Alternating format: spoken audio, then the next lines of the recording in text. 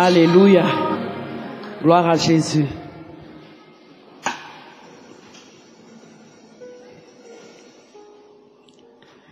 Amen.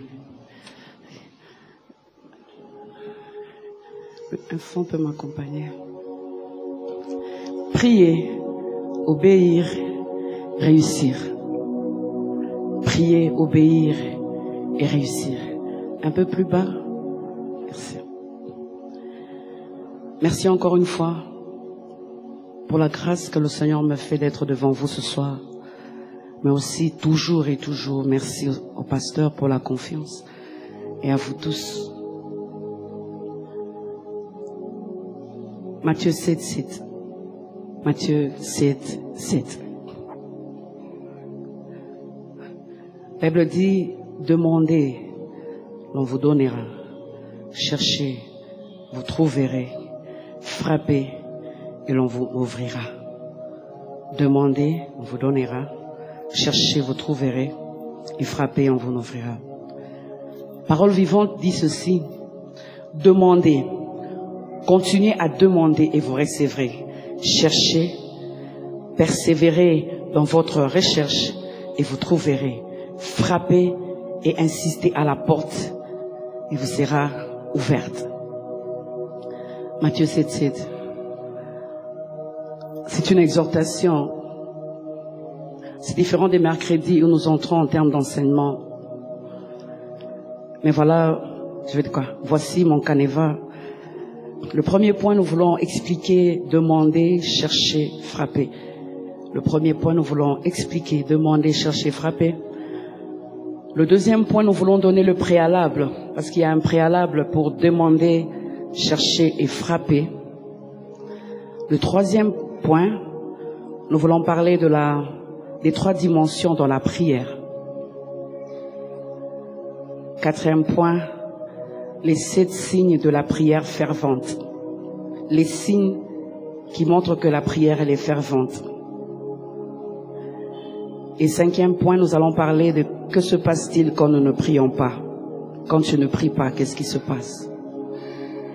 Et enfin, par la grâce de Dieu, nous allons peut-être nous répéter parce qu'on a déjà parlé de ça. Nous allons parler des conseils pratiques pour prier pendant longtemps. Donc nous sommes, nous sommes donc sur le sujet la prière. Prier. Prier. Ici, lorsqu'on parle de demander, chercher, frapper, ici, Christ veut dire demander inlassablement Continuez à demander. Cherchez, cherchez toujours. Frappez et frappez avec persévérance. Mais les, verbes grecs utilisés ici, ce n'est pas de demander en une fois. Les termes grecs utilisés pour demander, chercher et frapper, c'est une action continue. C'est quelque chose qu'il faut faire continuellement. Demander, chercher et frapper. C'est Christ qui nous a parlé de la prière, tirée du sermon sur la montagne, les béatitudes. Et le commentaire de la Bible Esprit et Vie dit ceci. En parlant de demander, il nous fait comprendre que demander sous-entend qu'on est conscient qu'on a un besoin et qu'on croit que Dieu entend les prières. On est conscient qu'on a un besoin, qu'on a un défi et que seul Dieu écoute les prières. Alors cela implique deux choses. Lorsque nous sommes conscients du défi ou du besoin, mais aussi que nous croyons que jeudi après jeudi, nous ne venons pas vers un homme ni vers une femme, mais nous, verrons nous venons vers Dieu. Deux choses. Cela implique d'abord la prise de conscience du besoin. As-tu un besoin? As-tu un défi? Et le jeudi écoulé, j'avais parlé de Josaphat. Josaphat était conscient du défi qui était devant lui, du besoin qui était devant lui. C'est pour cela, dans 2 Chroniques 20, le verset 12, il dit, nous sommes sans force devant cette multitude. Pourquoi? Parce que Josaphat, en fait, se retrouvait devant un défi et il était conscient de ce besoin, il était conscient de ce défi. Et aussi, il était conscient de son incapacité, de son impuissance. C'est pour cela il dit, nous sommes sans force. La deuxième chose, non seulement la prise de conscience du besoin, mais aussi la foi en Dieu. Josaphat ne s'est pas arrêté là. Il a dit ceci, mais nos yeux sont sur toi. Lorsque vous lisez la prière de Josaphat dans 2 Chroniques 20, le verset 12, il dit, mais nos yeux sont sur toi. Il a manifesté sa foi. Il s'est pas arrêté pour dire que je suis fatigué. Souvent, c'est ce que nous faisons. Ah, je suis fatigué. Mais après, qu'est-ce que tu dis à Dieu? Est-ce que tu peux faire comme Josaphat pour dire, mais je compte sur toi Parce que je sais qu'il n'y a que toi qui peux résoudre ce problème. Personne d'autre ne peut le faire. Deux vérités attachées à cette réalité. La première vérité, c'est que tant que tu n'es pas conscient du besoin, tu ne prieras pas comme il faut. Tant que tu n'es pas conscient du besoin, tant que tu n'es pas conscient du défi, tu ne prieras pas comme il faut. C'est pour cela certaines personnes qui viennent le jeudi alors qu'elle a beaucoup de problèmes, mais sa manière de prier, ça étonne. Deuxième vérité attachée à cette réalité, c'est que tant que tu ne croiras pas que Dieu peut te répondre, tu ne prieras pas comme il faut. Parce qu'au fait, tu ne crois pas. Oublie les échecs du passé. Oublie les choses qui n'ont pas marché. Oublie les déceptions. À chaque fois que tu t'approches de Dieu, il faut que tu croies. La dit ceci, dans Hébreu 11, le verset 6. Il faut que celui qui s'approche de Dieu croit que Dieu existe et qu'il est le rémunérateur de ceux qui le cherchent. Église, nous devons croire qu'effectivement, aujourd'hui, Dieu a guéri quelqu'un. La personne qui était concernée par ce message doit croire qu'effectivement Dieu l'a guéri. C'est ça la foi. Parole de vie dit ceci, plutôt parole vivante, la version dit ceci. Si quelqu'un s'approche de Dieu pour entrer en communion avec lui, il faut bien qu'il croit d'abord à son existence et qu'il ait la conviction que Dieu récompense et qu'il le cherche de tout leur cœur. La deuxième chose de chercher, chercher sous-entend que l'on demande avec ferveur tout en obéissant à la parole de Dieu. Demander avec ferveur tout en obéissant à la parole de Dieu. Parce qu'en fait, il faut que ta demande soit conforme à la volonté de Dieu. Or, la volonté de Dieu, nous l'avons où? Dans sa parole. Est-ce que ce que je suis en train de demander à Dieu, c'est conforme à sa parole? Tu cherches les passages bibliques qui appuient ta demande. Tu cherches, tu cherches Dieu. Là, nous voyons quoi? Nous voyons la passion dans la prière. Je dirais le zèle, l'ardeur, l'empressement dans la prière. Bien aimé, quand tu viens, d'ailleurs déjà quand tu es ici à 16 heures, commence ne pars pas d'abord là-bas, manger, puis parler, puis non, non, non, tu es venu jeudi pour prier, tu es là. Commence. À l'intention, on a l'habitude de dire, allumez déjà le feu, allumez le feu. Parce que ici, il a dit, ma maison sera appelée une maison de prière. Et on ne peut pas parler de prière sans parler d'exaucement. Ça implique quoi? L'obéissance à Dieu. Est-ce que chose que je demande est conforme à la volonté de Dieu? Une femme qui apprécie, je dirais apprécie parce que ça c'est pas de l'amour, un homme marié et qui dit il faut que sa femme meure pour que moi je prenne. Seigneur, tu es le Dieu qui écoute les prières. Cette prière ne sera jamais exaucée. Parce qu'elle n'est pas faite selon la volonté de Dieu. Prie avec ferveur. La vérité, c'est quoi? C'est que c'est la grandeur de ton défi qui te poussera à prier avec ferveur. La hauteur, la taille, la grandeur de ton défi. C'est ça qui te poussera à prier. Quand tu vois quelqu'un qu'on lui demande de prier, c'est vrai que tout le monde ne prie pas de la même manière. Il y en a de ceux qui, pour bien prier, il doit rester d'abord calme. Ah, il y a des moments où ah, je n'ai plus besoin de regarder à gauche et à droite. Je commence à dire, hé, où tu es Dieu, où tu n'es pas Dieu, où tu es? Alléluia. Ce qui me fait crier, ce n'est pas pour que les gens me voient en train de prier. C'est la taille du défi. La taille du défi. Les apôtres, acte 4, le verset 29, face à la persécution, ils étaient tellement persécutés par les autorités. Il dit, Seigneur, vois leurs menaces et accorde à tes serviteurs d'annoncer la parole avec assurance. Vous pensez que cette prière, il le faisait comment? Seigneur, vois leurs menaces. Accorde. Je ne pense pas. Je suis sûr, il y en a de ceux qui étaient par terre, il y en a de ceux qui criaient pour dire, Seigneur, regarde ce qui se passe, lève-toi. Si tu ne fais rien, écoute ce que cette autorité avait dit. Mais c'est toi qui nous as appelés ici. Tu as dit, vous recevez une puissance. Le Saint-Esprit souvenant de vous, vous serez mes témoins. Mais c'est ce que nous faisons. Père, vois leurs menaces. Ils ont prié avec ferveur. Ils ont prié avec ferveur. Les disciples, on peut le prendre comme modèle de prière. Ils ont réveillé Jésus. La tempête, Marc 4, le verset 38. Marc 4, 38, il dit, Maître, ne t'inquiètes-tu pas de ce que nous périssons? Est-ce que lorsque il y avait cette tempête, est-ce qu'il disait, eh, Seigneur, ne t'inquiète Non, non, non, non, non, non. Parce que si on ne le fait pas, on va se noyer. Parole vivante dit, tu ne vois pas que nous sommes en train de périr. Tu ne t'en soucies pas. Donc ça ne te dit rien. Tout ce qui nous arrive ici, il y a des prières. Seigneur, donc ça ne te dit rien. Tout ce que tu... Seigneur, mais tu ne vois pas. Est-ce qu'il y a quelqu'un qui a déjà prié comme ça? Alléluia. C'est comme ça qu'il faut prier, bien-aimé.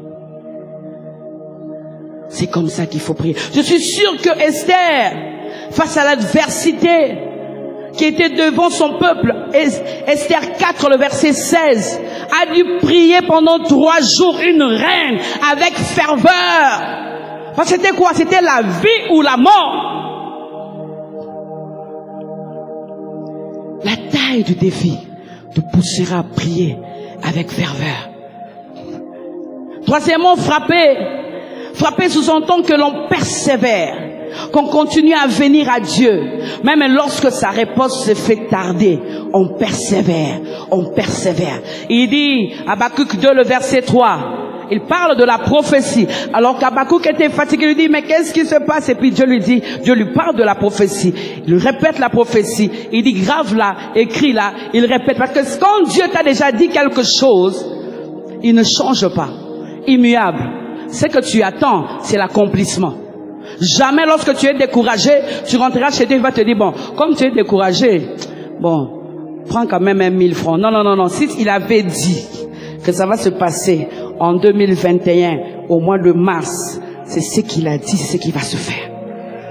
Ton découragement. Il y a des gens qui disent, Seigneur, si tu ne fais pas, je t'abandonne. C'est toi qui, qui perds. Lui, il perd quoi? Abandonne. Il reste sur son trône. Immuable. Il ne change pas. Il dit, si elle tarde, attends-la. Elle s'accomplira, elle s'accomplira certainement. Mais le préalable ici, la question qu'on se pose, qui est concerné par demander, chercher et frapper? Est-ce que c'est tout le monde? Parce que nous voyons même les païens. Hein, Matthieu 7, 7. La Bible dit, il est en train de prendre la bière, il est dans une boîte de nuit. Matthieu 7, 7. c'est tout le monde qui connaît ce verset. Non, ça ne s'adresse pas à tout le monde préalable pour demander, chercher et frapper, il faut être enfant de Dieu. Parce que ce discours, Jésus le fait devant ses disciples. Matthieu 5, 1 à 2. Matthieu 5, 1 à 2. La Bible dit, Jésus s'adresse aux disciples, mais la foule est quand même là. La foule est là. Après qu'il se fut assis, ses disciples s'approchèrent de lui, puis ayant ouvert la bouche, il les enseigna et il dit, heureux ça commence déjà là, serment sur la montagne. Matthieu 5, il parle aux disciples. Celui qui doit demander, celui qui doit chercher, celui qui doit frapper, c'est un enfant. Parce qu'après, il parle de père. Lorsqu'il parle de la prière, Il dit ton Père qui est dans le lieu, dans le lieu secret. Il faut être un enfant de Dieu. Ça t'adresse pas à n'importe qui. Enfant de Dieu, c'est recevoir Christ comme Seigneur et Sauveur. Et marcher avec lui par la puissance du Saint-Esprit. Les trois dimensions de la prière, c'est quoi? C'est demander, chercher et frapper. Mais tout, ça, c'est quoi? Ce n'est rien que la prière. Au niveau de demander, vous faites quoi? Vous venez, vous faites connaître vos besoins à Dieu. Philippiens 4, 6. Faites connaître vos besoins à Dieu. Il nous demande de nous faire, de, faire connaître nos besoins, nos défis, toutes ces choses. Mais c'est aussi là d'en demander que nous bénéficions de la purification de nos péchés, de la sanctification. 1 Jean 1, 9, on rappelle à Dieu ses promesses. 1 Jean 5, 14, on confesse. Ici, on est en train de demander pour dire, Seigneur, pardonne-moi pour telle chose que je fais. S'il te plaît, fais quelque chose. Tu t'approches de Dieu, tu te purifies. Tu es là en train de demander comme un enfant. On ne demande pas n'importe qui. On demande à notre Père. Ici, tu peux encore dire, tu m'as pas oublié, tu m'aimes encore, tu crois à l'amour de Dieu. Parce que Dieu a dit qu'il va faire. Et chercher, c'est ici maintenant que tu commences à entrer dans la parole de Dieu. Parce que tu as comme l'impression que ta prière, elle est vide. Dieu n'exauce pas parce que tu es issu d'une tribu. Dieu ne t'exauce pas parce que ton grand-père est juif. Non. Dieu ne t'exauce pas parce que ton grand-père est arrière-arrière-grand-père d'Abraham. Non, non, c'est pas ça. Dieu t'exauce tout simplement parce que tu es son enfant. Et il a mis ses promesses où? Dans la parole. C'est là maintenant que lorsque tu entres dans la présence de Dieu, tu ouvres la Bible. Tu dis, Seigneur, tu as dit dans ta maison, ça fait quatre ans, ça fait sept ans, ça fait dix ans que je suis marié, il n'y a pas d'enfant. Tu as dit qu'il n'y aura ni femme stérile, ni femme qui avorte, Seigneur. Tu as dit dans ta parole. Et le Saint-Esprit, quand tu cherches, il illumine les yeux de ton cœur. C'est là que tu cherches et il te remplit d'assurance. Il te remplit d'assurance. Tu n'as pas encore la chose que tu demandes, mais tu es rempli d'assurance. C'est ici que tu dis, je ne mourrai pas, je vivrai, je raconterai les œuvres de l'éternel. Tu cherches Dieu par la prière et dans sa parole, tu les cherches. Tu trouves toutes les paroles qui sont liées à ton défi, qui sont liées à ton problème et tu commences à les déclarer et tu commences à les déclarer. C'est ici que tu chantes, Dieu est capable de faire tout ce qu'il dit, il fera. Pourquoi tu le dis? Parce que tu as lu qu'il a fait à Anne. Tu as lu qu'il a fait dans Abraham. Tu as lu qu'il a fait ceci à Bartimée. Tu commences à chanter ce chant pour dire, il accomplira tout ce qu'il m'a promis. Je crois qu'il va l'accomplir. Qu'il va le faire. Qu'il va réellement le faire. Je le crois et je le crois personnellement ta foi commence à devenir fort. C'est pour cela c'est une action continue. Ce n'est pas en cas tu as un problème et puis tu viens, tu commences à frapper, et puis tu rentres, et puis non, c'est continu. Continue qu'on le fait. Frapper, c'est là. En fait, lorsque tu entres dans la présence de Dieu, et puis à un certain moment tu en ressors, tu vois toujours Pénina qui est toujours là. Tu entres, tu sors, tu vois toujours Pénina qui est là. Et il te dit toujours la prière, mais on ne voit rien du tout. Ou tu vois tes frères et sœurs païens, païens au cube, mais qui ont trouvé du travail. Toi, depuis que tu as fini, tu n'as pas du travail. Ce sont des péninas. Tu reviens le jeudi, tu rentres. Hein, prière sur prière, mais on doit t'acheter le pain le matin. Prière, tu ne pas ce Ouh, pénina. C'est à ce moment-là que tu dis non, non, non, non, non. Tu fais comme Anne, la Bible dit. 1 Samuel 1, le verset 9, la Bible dit, Anne se leva. Elle se leva. C'est là où on commence à frapper. Et on commence à dire, Kolo, kayoe, ngana koti kateo, kotambola nayo, posamu temananga. kolanda yo E, nga na kolemba te kogumbamela yo ntina bomoi na nga. Koluka yo nga na kotika te kotambola na yo posa motema na nga. Kolanda yo nga nako malgré penina nakolemba te kogumba mela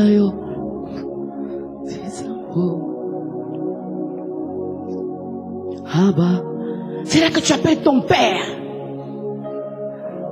C'est pour cela, demander, chercher, frapper. C'est pour toi, enfant de Dieu. Tu peux l'appeler Abba Père.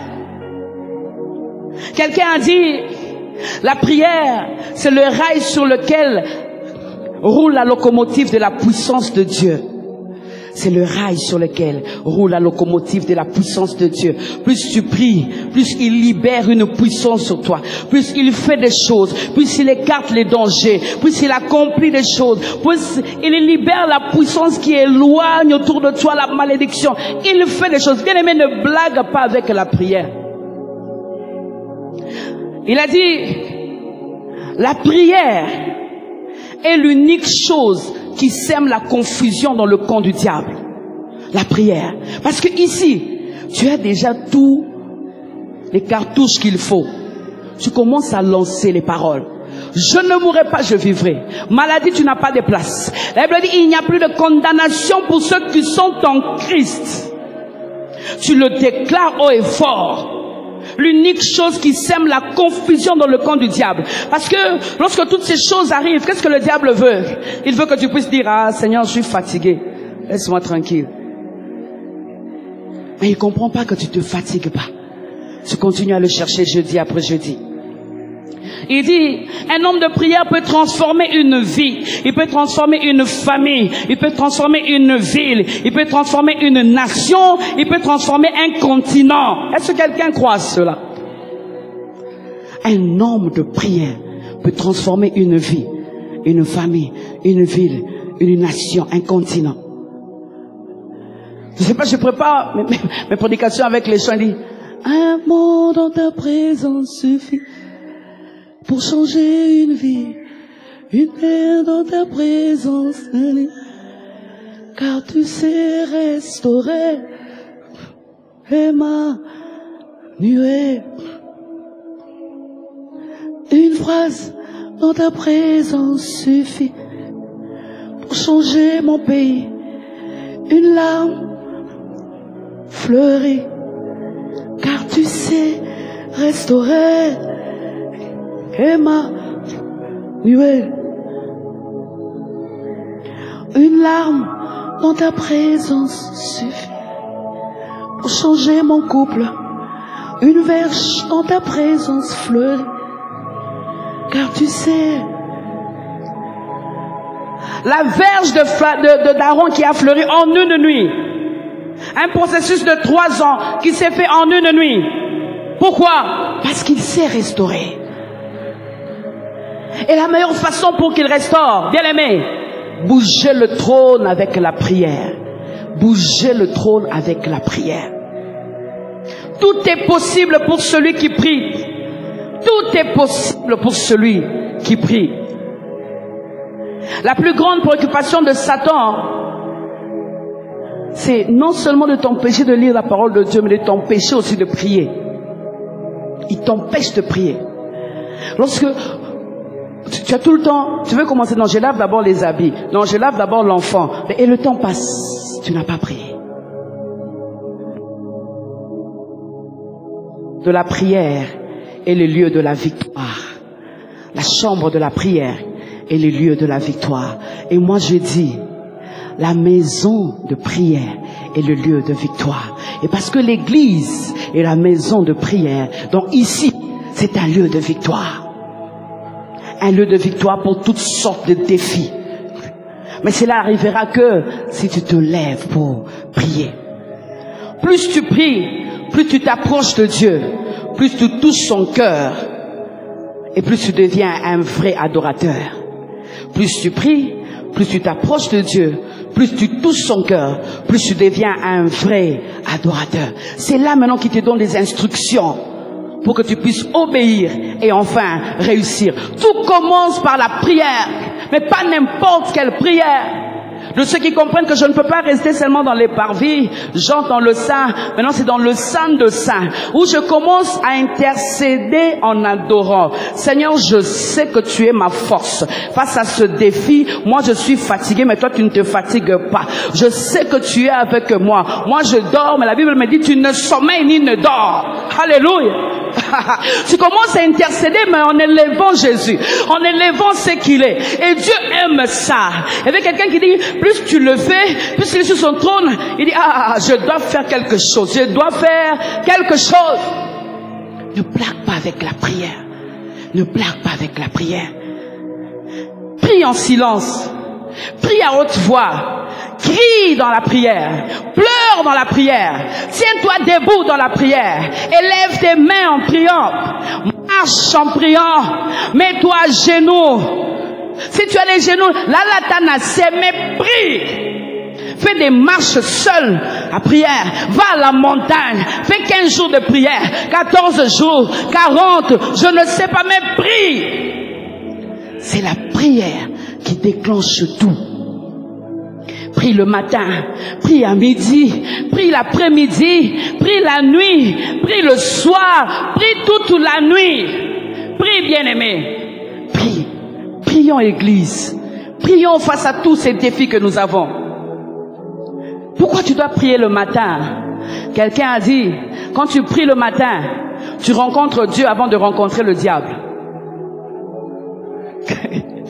Il dit quand tu pries le matin, tu rencontres Dieu avant de rencontrer les circonstances de la vie.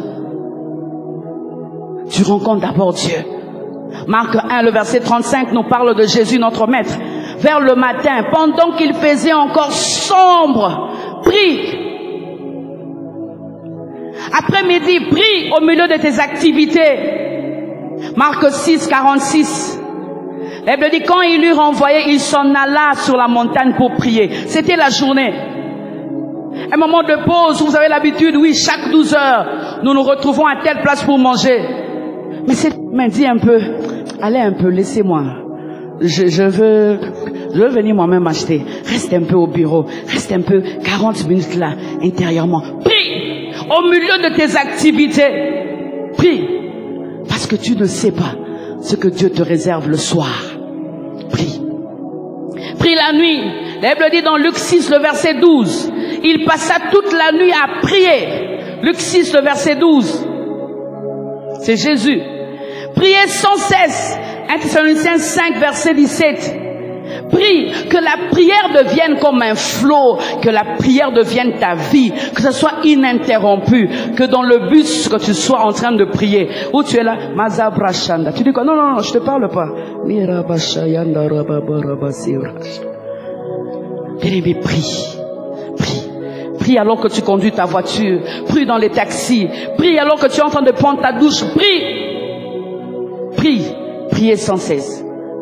Bref, deux choses. Fais de la prière ta préoccupation principale, ta priorité principale, la priorité des priorités de ta vie. Fais de la prière ta priorité. Satisfais le cœur de Dieu par la prière. Satisfais le cœur de Dieu par la prière. Les sept signes qui montrent que cette personne est en train de faire une prière fervente. Sept signes. La première, c'est la posture. La posture que tu prends quand tu pries. Ah. 1 roi 18, le verset 42, la Bible dit, mais Élie monta au sommet du Carmel et se penchant contre terre, il mit son visage contre les genoux. Position à l'époque de la femme qui accouchait, dans la salle d'accouchement. Ce soir, on dirait que je dis à quelqu'un, prends la, prends cette position-là, s'il te plaît. Fais-le même cette nuit. Fais-le même cette, la posture montre déjà que ce que tu es en train d'attendre est fort. Ce que tu es en train d'attendre est grand. Alors, laissez-moi un peu chercher Dieu. Il y a des, fois, des gens qui, ils peuvent un peu se mettre là à l'écart parce que il veut prier d'une certaine manière. La posture compte.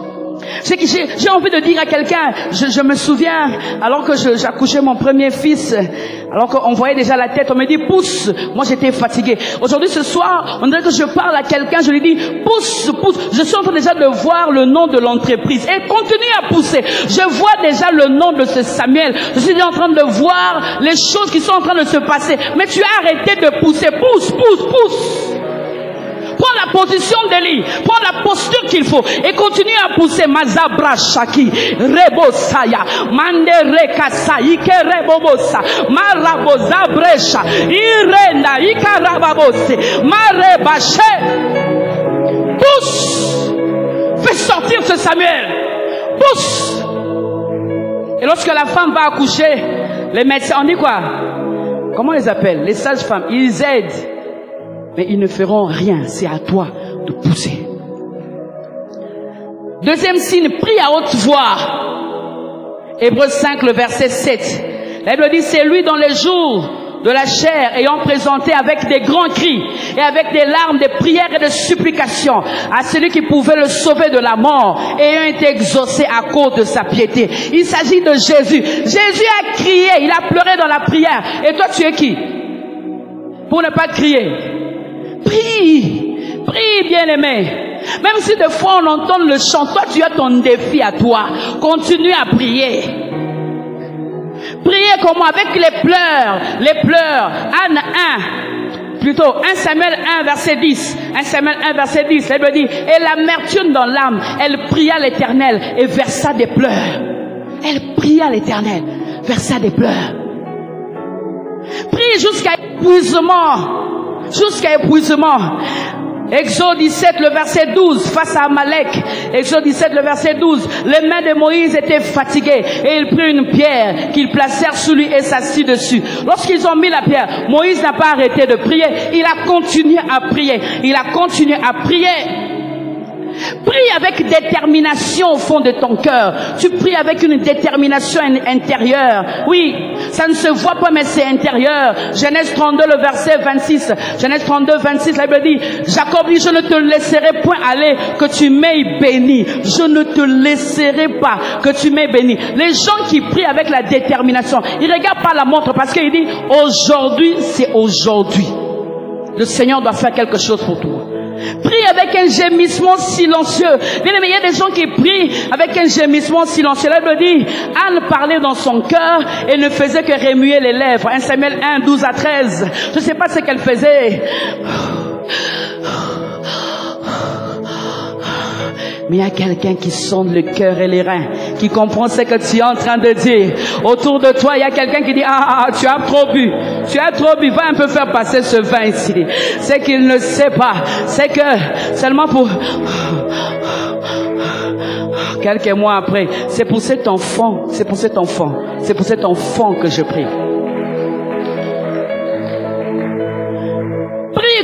Quelqu'un qui, est, qui ne sait pas si Dieu ne fait pas.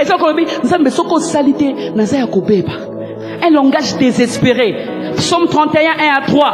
C'est David qui dit éternel. Psaume 31, 1 à 3. Je cherche en toi mon refuge que jamais je ne sois confondu. Délivre-moi dans ta justice. Incline vers ton oreille. Hâte-toi de me secourir. Sois pour moi un rocher protecteur, une forteresse où je trouve mon salut. Car tu es mon rocher, ma forteresse. Et à cause de ton nom, tu me conduiras, tu me dirigeras. Il dit, hâte-toi de me secourir. Lève-toi, lève-toi.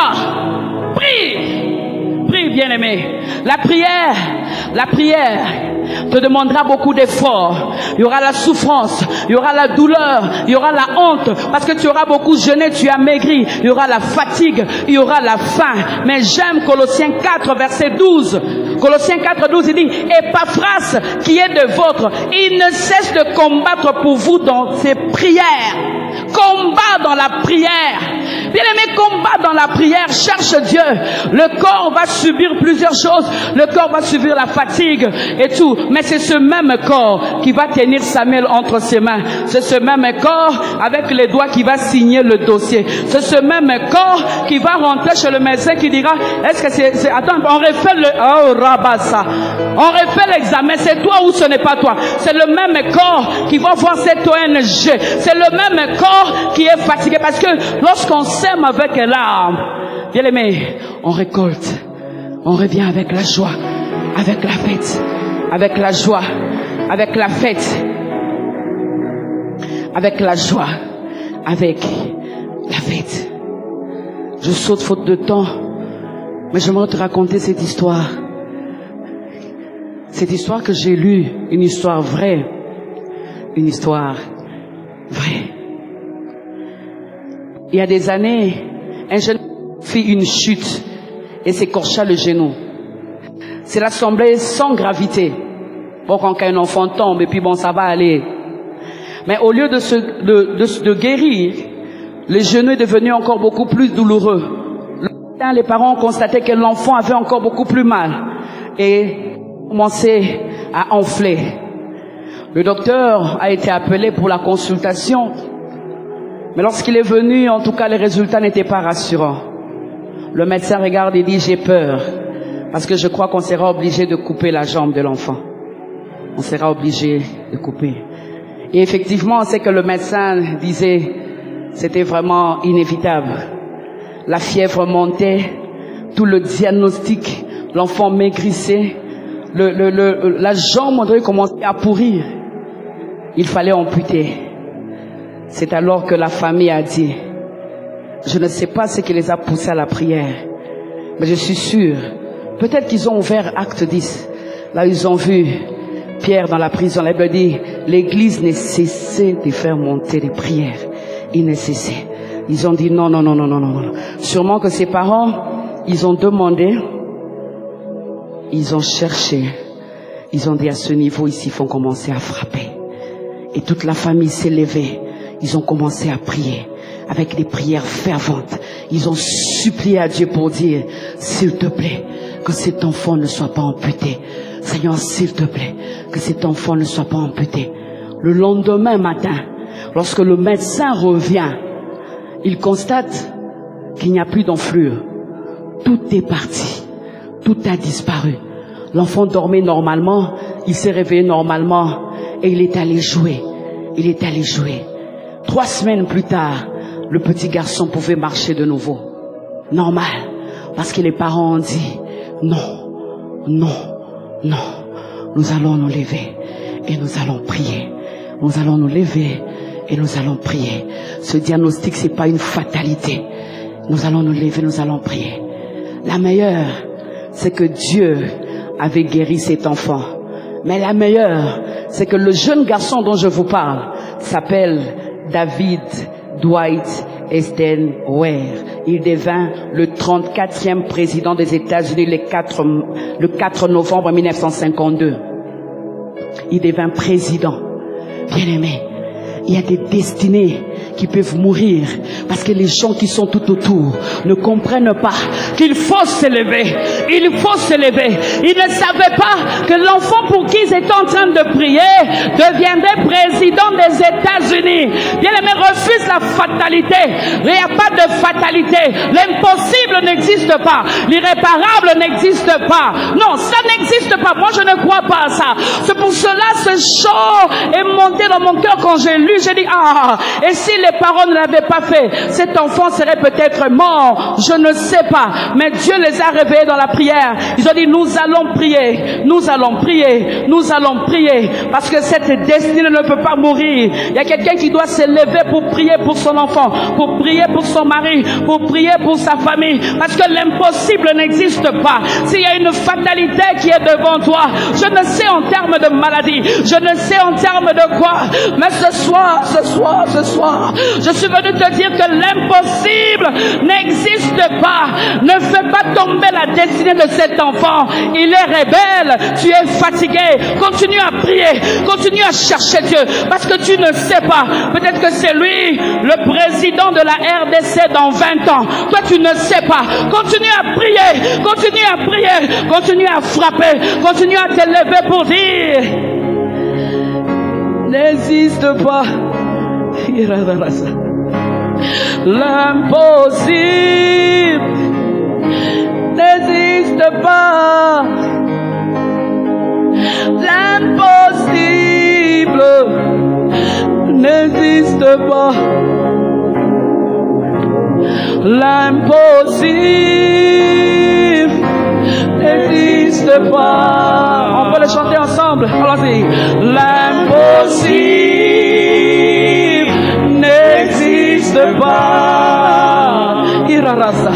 L'impossible n'existe pas.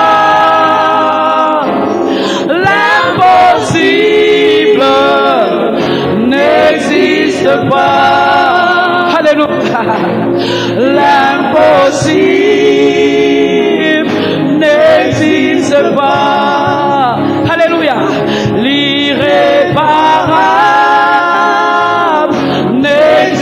Pas. Pour celui qui prie, pour celui qui cherche Dieu. L'irréparable